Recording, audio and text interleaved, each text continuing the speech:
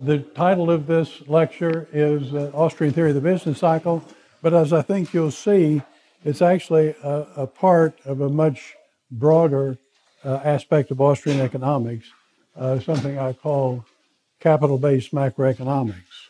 And uh, the business cycle theory is just something of a corollary to the more general uh, ma- uh, capital based macroeconomics. I think you'll see how that works. Uh, so what we're going to do is is sketch out the whole business of this sustainable and unsustainable growth. And uh, I don't mind giving the punchline away. It depends on what the central bank is doing and what they're doing with interest rates and that sort of thing. If interest rates are market determined, it turns out we get uh, sustainable growth. Uh, if they're manipulated by the central bank, you get something else. And it comes in the form of the Austrian business cycle. To put this in perspective, I'll just list the elements of capital based macroeconomics, and you'll see that most of the elements are things that you already know. Uh, production possibilities frontier, you've seen that uh, in standard textbooks and even in my earlier lectures. Loanable funds market, very broadly conceived uh, market for funds. It's a the markets, plural, that channel savings into the business community for investment purposes. Uh, the structure of production, we got to work out of that yesterday, so we'll be able to almost skip across that because you've already seen it. And then labor markets, well, of course, that's uh, that's treated heavily in Keynesian economics and monetarist economics and so on. The only difference here is that we have stage specific labor markets. They don't all go up and down at once. Uh, depends on what stage of production we're talking about. And uh, our applications here are sustainable growth as supported by saving on the one hand, and unsustainable growth triggered by credit expansion. Now, what you'll see is I'll take up the bulk of the time with the first part, the sustainable growth. Uh, and it, this comes from a,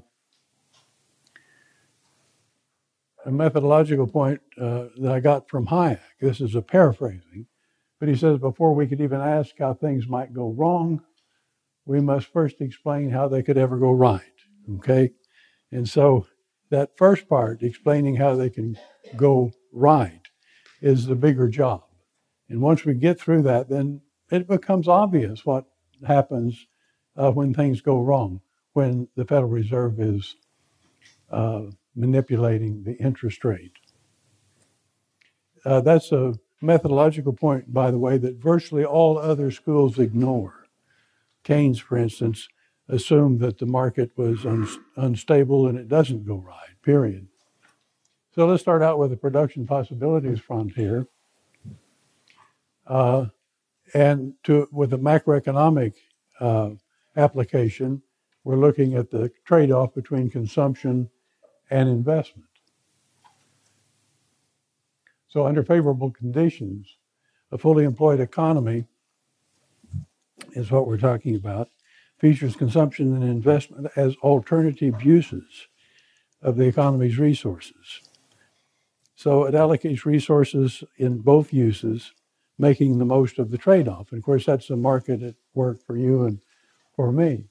So we may be at that point uh, on the frontier. And by the way, the frontier is, is the locus of sustainable combinations of consumption and investment. We'll see later that it's possible to go beyond the frontier, but not sustainably. In other words, you, you get into a region with, that's unsustainable, namely a boom that will end in a bust. Okay, the PPF, here I've just indicated that it's used for a lot of things. Everybody's seen it in the textbook, no matter which one they use and it's used for emphasizing the concept of scarcity, illustrating the implied trade off, and ex- uh, expositing theories of capital and interest, economic growth, international trade. But it rarely appears in a macroeconomic construction. Uh, certainly not in Keynesian economics, not in uh, monetarism, because the monetarists simply add C plus I and call it output. Uh, but in the Austrian theory, uh, it, it's, it's critical. So investment here represents gross investment, which is typical of the way uh, this uh, diagram is used. So it includes replacement capital, uh, what Frank Knight called maintenance uh, in my lecture yesterday. And so we have that whole uh, that whole distance of, of the uh, horizontal axis is gross investment. A good part of that in a developed economy is replacement capital, but some of it is new investment. Okay, net investment, investment over and above what it takes to replace. so with positive net investment, the economy grows. You're getting more capital, produce more stuff, produce more investment goods, more consumption goods. Get more stuff. The PPF shifts outward from year to year, permitting increasing levels of both consumption and investment. We can show that here. Uh, watch the economy grow. You can hear the economy grow, okay? There it goes. Okay, so four periods of growth are shown with consumption as well as in saving and investment increasing in each period. The actual rate of expansion of the PPF depends on many factors. We won't rehearse them here, it would take too long. Uh, but importantly, a change in saving preferences. See, what I've done so far, I haven't changed anything. Although people are saving, they've been saving, they keep saving. But a change in saving preferences, which provokes movement along the initial PPF, affects the rate at which the PPF expands outward. So suppose people become more thrifty, more future oriented. They reduce their current consumption and save instead.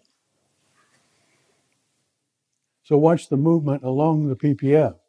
And this is just ordinary market mechanisms making that work, as we'll see. It moves along. Uh, and so already we've departed from any kind of a Keynesian notion because in Keynes, consumption and investment always move in the same direction. We couldn't possibly move along the PPF, which slopes downward. Okay? With the increased saving and investment, the economy grows at a faster rate. So let's watch that. Grows at bigger intervals.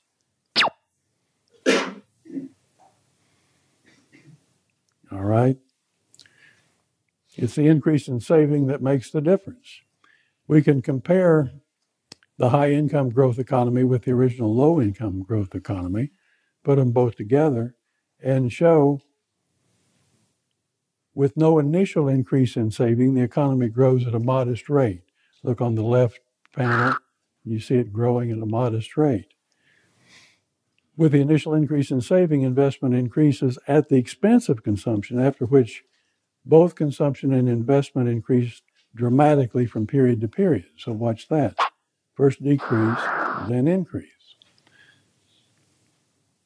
And then you draw a line across there where you can see that after four periods, people are consuming more than they did before. And that's the whole business of saving. Okay, you save now in order to be able to purchase more in the future. Uh, and while you're saving, of course, you're getting uh, accrued interest. Uh, not in this country, we're down to about half a percent. Uh, but uh, that's that's the way it works. Now, don't get me wrong. I'm not your father trying to admonish you to save. Okay, I'm just showing what the consequences are uh, of saving, that you are able to consume more in the future than you otherwise would. Okay. But you probably should save more. I mean, Okay, the market for loanable funds. That's the interest rate plotted against saving and investment. We have a supply of it and a demand for it. So saving constitutes the supply of loanable funds, upward sloping as you would expect. Demand reflects the business community's willingness to borrow and undertake investment projects. And that's the demand for loanable funds. And of course, the market mechanism here will then settle on that intersection. So straight application, straightforward application of Marshallian supply and demand analysis. And then you can see that vertical or that horizontal distance is the investable resources. In other words, those are funds that are handed over to the investment community with which they can uh, buy equipment and materials and so on for beefing up the economy. And the savings that comes out of income, the income uh, was earned by people working and making stuff. And if they didn't consume that much, that meant they left some stuff over. Okay. Uh, and that's equivalent to their saving. And it, lets the business community take possession of that stuff that was left over and increase the productive capacity of the economy. That's the market at work for you and for me. So uh, here it just points out loanable funds was closely identified with Dennis Robertson. Yeah, there he is. Uh, that was before Keynes. And then on the suggestion of Roy Harrod, Roy Harrod couldn't believe that Keynes was taking loanable funds theory out, out of his macro theory. And, and Harrod read the draft of the general theory. And so he advised Keynes that if he if for sure he was taking that theory out, he should make that clear to the readers. And so Keynes put that diagram in to emphasize that he was throwing it out. okay? If you thumb through the general theory, you'll see that diagram is the one and only diagram in the whole general theory. There are no diagrams in the general theory, except this one, uh, kind of a screwy version, as you'll see later, of that one. Uh, but, uh, and it's on page 180. I won't make you look for it. Market for loanable funds. So if people become more future oriented, they increase their saving, causing the interest rate to fall and thereby encouraging business community to undertake more investment projects. All right. So watch the savings curve shift right. There it goes. Okay. Lower interest rate, which inspires investors to undertake uh, more investment. With a given technology, saving and investment are prerequisite to genuine, sustainable economic growth. Now, I put up two diagrams here, and uh, it turns out we can use them together. Loanable funds market shows how interest rates bring saving and investment into line with one another. The PPF shows the trade off is struck between consumption and investment. So, market adjustments in output prices wages, and other input prices keep the economy functioning on its PPF. That's under normal conditions, normal, normal market conditions. Okay, these two capital based macroeconomics show these two elements, uh, show the pattern of movements of consumption, saving, and investment, and the interest rate that are consistent with the change in intertemporal preferences. And now you have to watch these both at once. They sort of move in tandem with one another. Um, before people become more future, as before people become more future oriented, they save more, which transmits a signal of lower interest rates to the business community. So watch that process. Here it goes. Okay. So it, it's the lowering of the rate of interest that uh, causes that point on the frontier to move along it in that direction. Okay? The lower the The lower rate of interest establishes a new equilibrium in the loanable funds market, and the economy moves along the PPF in the direction of more investment and less current consumption. It'll be more future consumption because they're undertaking investment, and that investment will materialize in the future. Businessmen know, business people know, that when people save, they save up for something. Okay? They don't save for fun. You know, saving isn't fun. okay? They save up for something. And how in the world do business people figure out what that something is? Well, that, that job is the entrepreneurial job. Okay? Now, if you don't have any entrepreneurs, then your market's in trouble. but fortunately, in this country at least, we do have entrepreneurs. Even the possibility of a market economy could work this way is at odds with Keynesian theory because it, it shows consumption and investment moving in opposite directions. That never happens in Keynes. That's what that says. Okay. So, according to Keynes, any reduction in consumer spending will result in excess inventories, which in turn would cause production cutbacks, worker layoffs, spiraling downwards of the economy and, and expenditures. The economy would go into recession. The business community would commit itself to less, not more investment. And otherwise, uh, he's saying it would fall inside the PPF. All right? Well, in his theory, it would, because he's thrown out the market mechanisms that would keep it from doing that. Uh, Keynes called that the paradox of thrift. Don't, don't save, you wish you hadn't. Now, if retail inventories were representative investment, then Keynes would be right. Here, the derived demand effect dominates. Reduced consumer spending means reduced inventory replacement. Well, duh, yeah. Uh, in general, late stage investments move with consumer spending. But here's the other part of the story that Keynes leaves out. However, the interest rate effect dominates in the long term or early stage investments. A lower interest rate can stimulate industrial construction, for instance, or product development. The longer the production process takes place, then the more critical the interest cost is of those, of those projects, even if it's multi structured.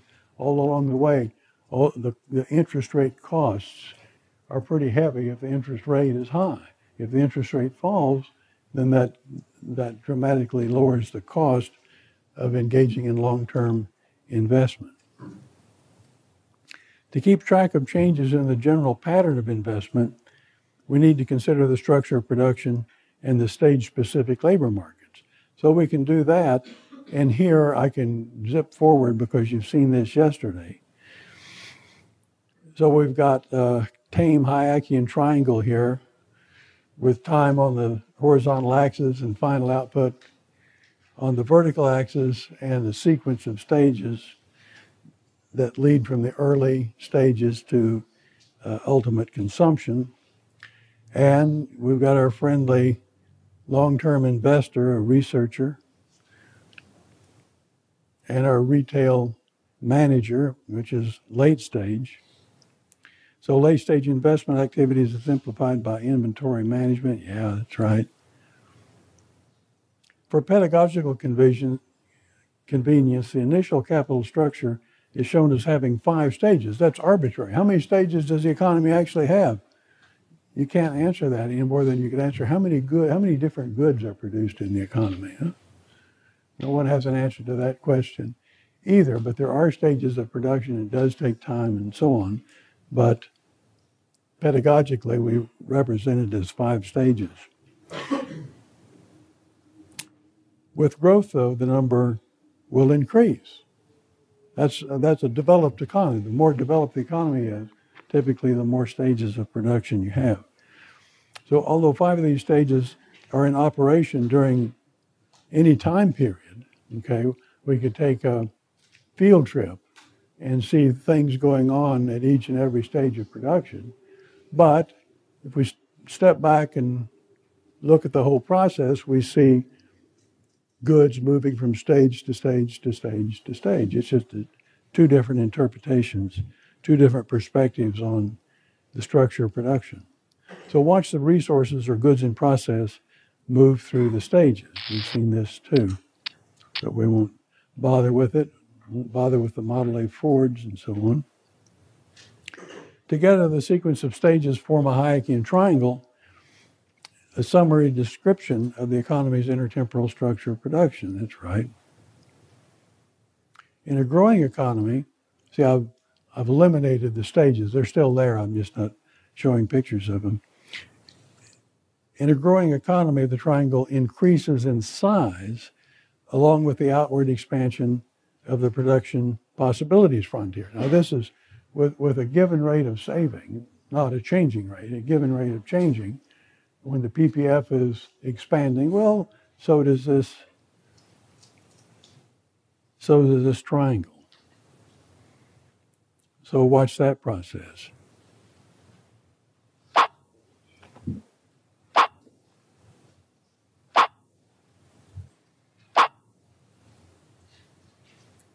like so. When people choose to save more, they send two seemingly conflicting, with emphasis on seemingly, signals to the market. And uh, Keynes would be baffled by this seemingly conflicting signals. Decrease in consumption, decreased consumption dampens the demand for investment goods that are close to the temporal proximity with consumable output. This is the derived demand effect. Reduced interest rates, which means lower borrowing costs, stimulates demand for investment goods that are temporally remote, temporally remote from the consumable output. This is the time discount or interest rate effect. Okay. So derived demand and time discount are in conflict only if investment is conceived of as simple aggregate, such as Keynes, C plus I plus G.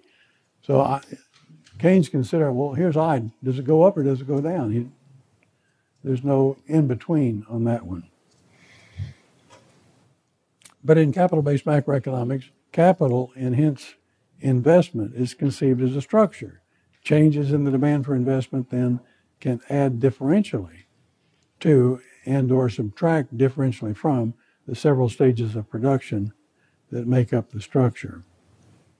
And here it just says, well, this is this is a significant. Keynes theorizing in terms of aggregates rather than in terms of structures underlies Hayek's claim, quoted here, Mr. Keynes' aggregates conceal the most fundamental mechanisms of change.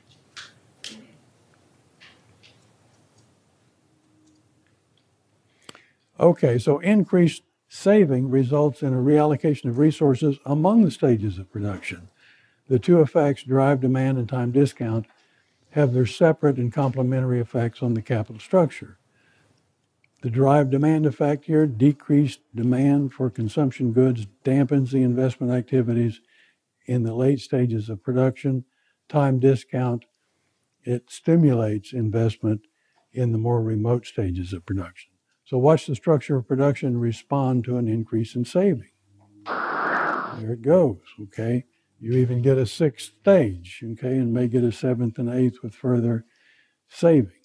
And now you notice consumption is down, but that's only an initial result because as the economy develops, it will grow at a faster rate because of that increased saving, and consumption will be up within four or five uh, periods as shown in earlier graph. Okay. Increased saving then has the effect of both the magnitude of the investment aggregate and the temporal pattern of the capital creation. So look at it. Watch the economy respond to an increase in saving. It's all coordinated here. Looks like that. The PPF shows that more saving permits more investment. There's a little arrow. Hayekian triangle shows that capital creation in the late stages, such as retail inventories is decreased while capital creation in the early stages, such as product development, is increased. See, so you get a two way thing, you get a, a skewing. Okay, you never find that in Keynes. So the structure production is given more of a future orientation, which is consistent with the savings that made the restructuring possible. People are saving because they're planning on being able to buy more in the future.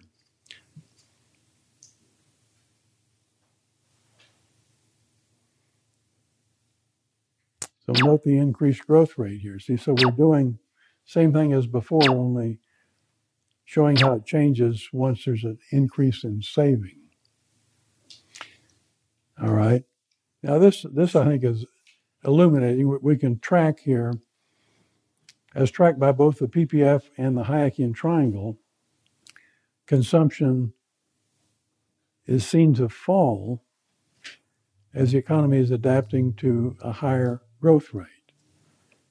Okay, after which consumption rises more rapidly than before and eventually surpass, surpasses the old projected growth path. Look at it on the right side, down and then up. Look at it on the triangle side, down and then up. Two different views of the same thing. Let's plot it against time, consumption against time. You have a reduction in consumption followed by an increase uh, in consumption activity. And if you compare that to what the growth path would have been without the saving, uh, you can see that saving implies giving up some consumption in the near future, and that would be that area, uh, in order to enjoy more consumption in the immediate future and possibly far future. Okay? And that would be that area. Now, stage specific labor markets. Here, I'm just replacing our uh, chemical researcher and our retail manager with supply and demand curves. And that's supply and demand for their services. And so we can see that that shift then brings about changes in demand for labor, but in opposite directions as far as late stage and early stage. So we can watch that. Okay, watch the demand curves in those uh, lower diagrams.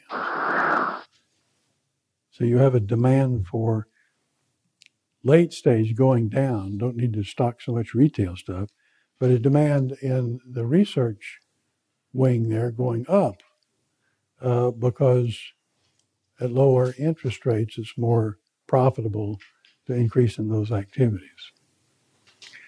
The difference, the differential shifting of labor demand gives rise to a wage rate gradient. And I discovered this when I, when, when I made this diagram. I put in this gradient. It just shows that that gradient will persist until the economy is uh, fully adjusted to the new saving rate. Uh, and that very term, wage rate gradient, plus a graph, is included in a footnote in the second edition of Hayek's Prices and Production. It's, I think it's a little cryptic, but once you once you see what it is, then you can you can pick it out. So look for a footnote in edition two of Prices and Production that has a graph in it, and you'll see what that gradient looks like. Okay, we're getting to the end of, of our first round here before we get into business cycles. So look what we've got going for us. We've got a loanable funds market, production possibilities frontier, we've got the triangle, and we've got the different labor markets. Now, so we can watch the whole thing at once, okay? I'm going to do it twice because you can't see everything at once, okay? So we're going to show an increase in saving. And it's like poetry in motion, in motion here. Everything is coordinated. Let me back up and do it again.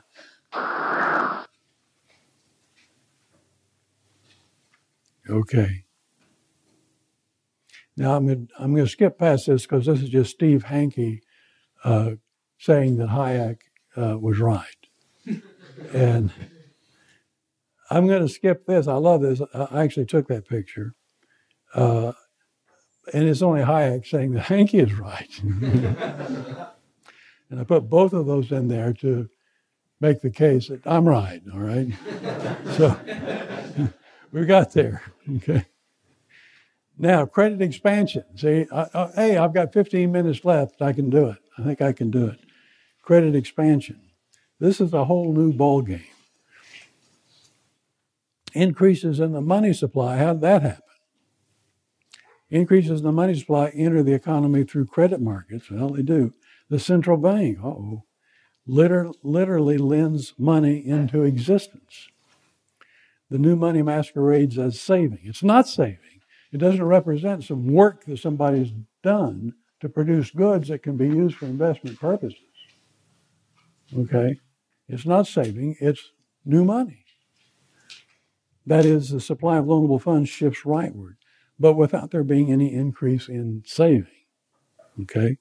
So, so watch these opposing movements. This is a whole different ball game here.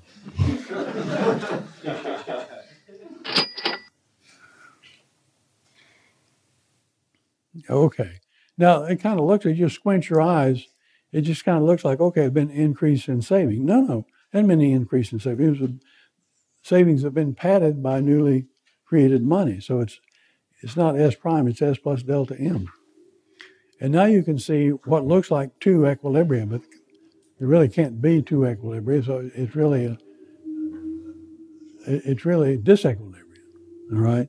Because you're seeing that on the one hand, saving is reduced, this probably says that, responding to a lower interest rate, people actually save less and consume more. I mean, why save if all you get is 1%? Go ahead and consume. At the same time, uh, well, it says the result is not new sustainable equilibrium, but rather a disequilibrium that for a time is masked by the infusion of the loanable funds. So, pumping new money through credit markets drives a wedge between saving and investment. Of course, it does. Investors move down along their demand curves, taking advantage of the lower borrowing costs. We've got it. Shows the arrow down there. There go the the investors are borrowing that new money. Savers move down along their unshifted supply curves in response to the weakened incentive to save. All right? The discrepancy between saving and investment is papered over, literally, with newly created money, which itself represents no investable resources.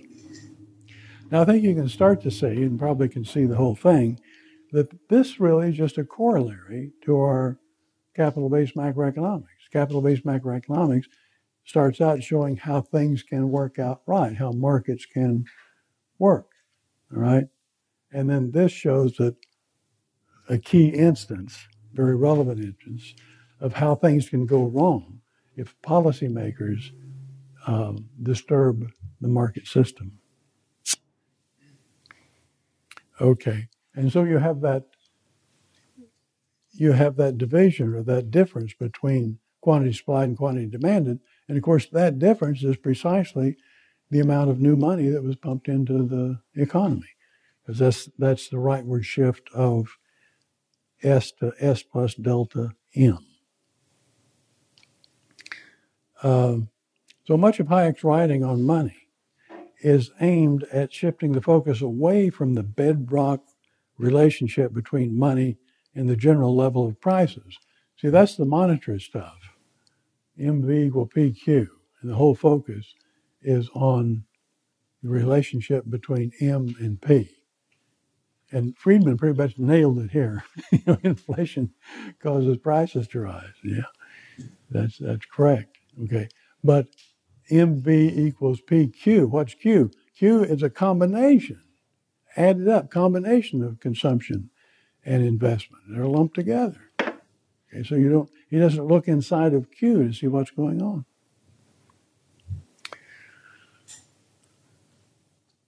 So Hayek shifted the shifted the focus toward the intertemporal discoordination that is caused by credit expansion. Okay, now we can trace this around. Favorable credit conditions spur investment activity. Spur, yeah, which suggests a clockwise movement along the PPF in the direction of investment. Right, we can trace that up and see that investors are trying to pull the economy that way. right? But income earners are actually saving less and hence consuming more, which suggests the counterclockwise movement along the PPF in the direction of consumption. And there that is. Okay? So now, if you look at the axis, consumers are pushing upward, parallel to the axis, vertical axis, and investors are pushing outward, rightward, uh, parallel to the investment. So the wedge between saving and investment translates into a tug of war between consumers and investors. It's not a regular tug of war. They're not pulling 180 degrees, they're pulling 90 degrees.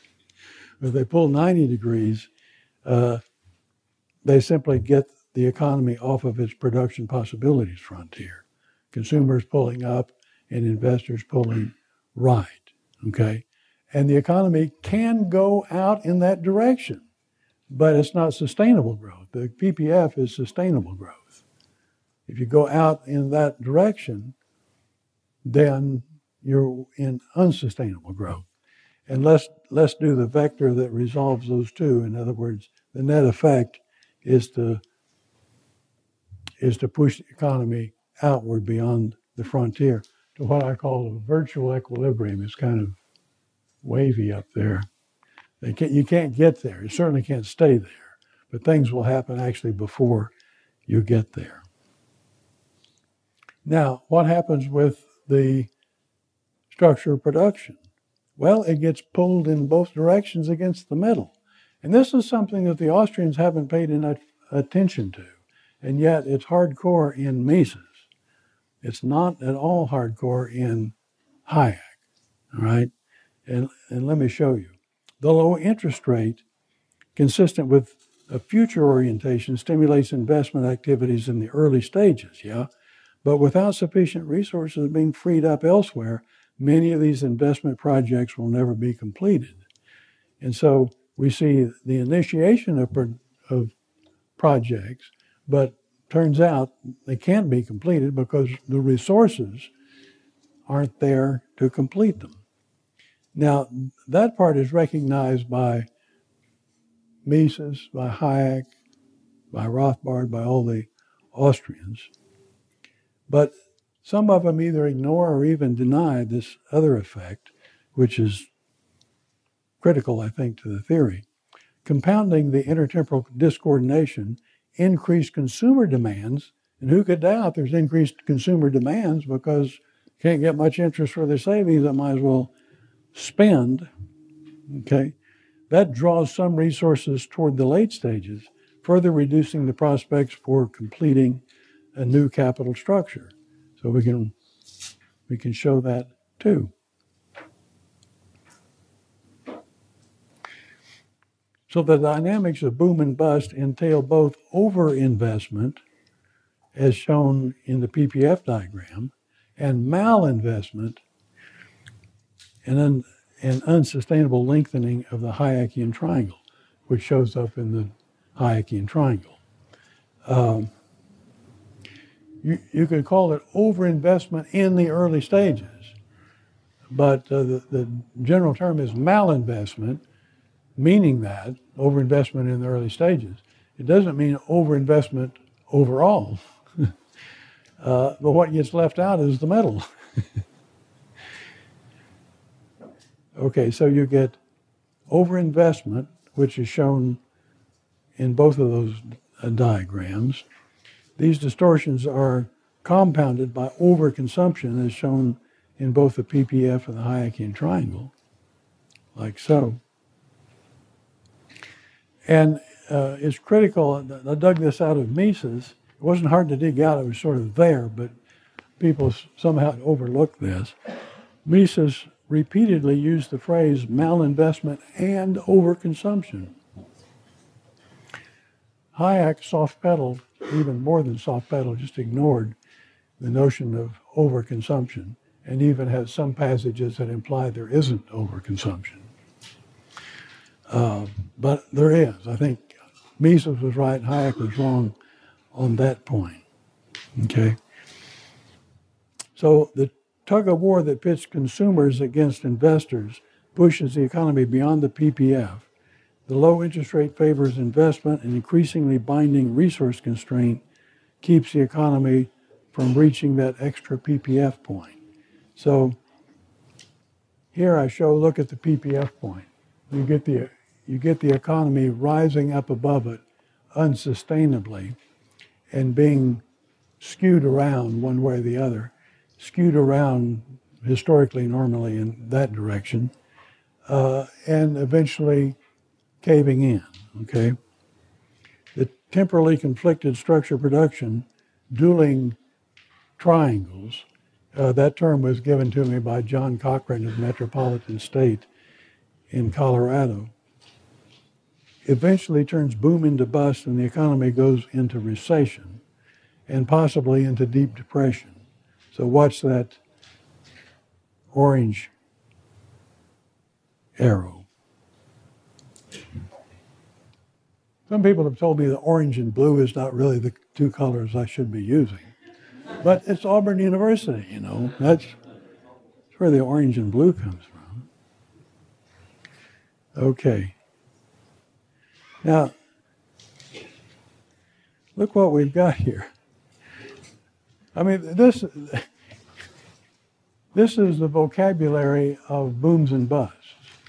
You know, a wedge between saving and investment, a tug of war between consumers and investors dueling triangles. This is not going to turn out pretty, right? That's the idea.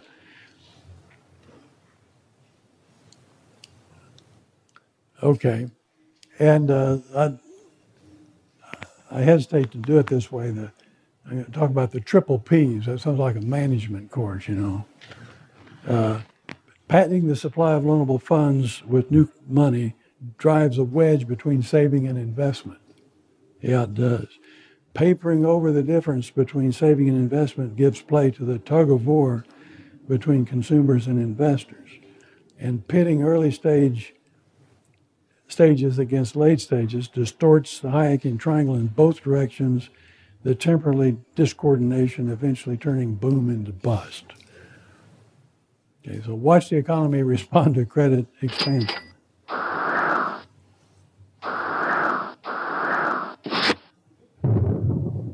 Boom.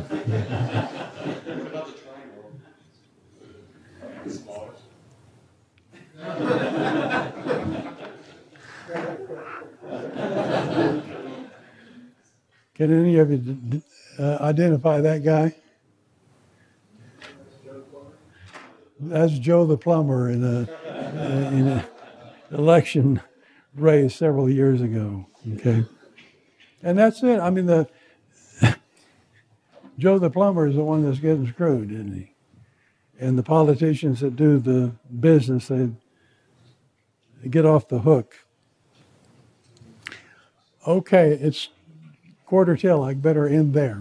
Thank you much.